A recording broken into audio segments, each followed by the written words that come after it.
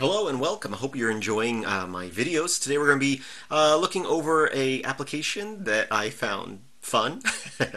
and today we're going to be looking at a game. I don't do a lot of videos on games, so we're going to be looking at Linux Gaming. So this game is highest graphics. It's awesome.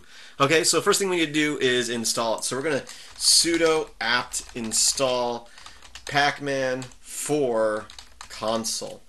And you have to spell console right.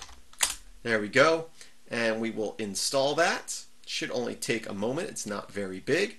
And then we can clear the screen. And now all we have to do is type in Pac-Man for console. And I've gotten an error that my console is not the right size. Oh, these high graphic games and their requirements. Uh, let me go ahead and shrink my text down here a bit and give it another go. There we go. Now I can press any key and there you go. You can see that I am that little yellow C there. Let's see if I can make it bigger now. Yeah, there we go. Perfect. And it's just like being at the arcade. It's exactly like that. Uh, but, you know, I'm, I'm saying that fun, you know, to be funny, but it really is, you know, just like playing Pac-Man. You know, no sounds, and it's not the same graphics, but super simple. You could play this, you know, through an SSH uh, connection if you wanted to.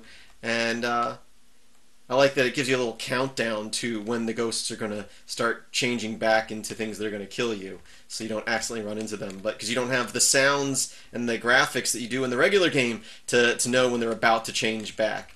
Um, so, super simple. You know, not a lot to show you here, just to play it for a little bit. And uh, I do hope that you check it out. You know, doesn't doesn't take up a whole lot of space. And if you're bored and you don't have a GUI, or if you just like working in the shell, you can uh, play Pac-Man for console. As always, uh, please visit filmsbykris.com. That's Chris the K. There's a link in the description of the video. That's uh, my website. You can search through all my videos from both my channels. Uh, and uh, oh, look at this. the uh, the second level is completely different than the first. See, that's even better than than, than the real Pac-Man. Because real Pac-Man, you got to play the same level three or four times before it actually changes into a different level. This is so much superior. Anyway, I do thank you for watching again. Visit filmsbykris.com. That's okay. There's a link in the description of the video. Just think about supporting me over at patreon.com. Uh, and mostly I do tutorials, but every once in a while I do a review of fun little applications like this. And uh, if you like that sort of thing, you like shell stuff, or just Linux and free software in general, check out my website.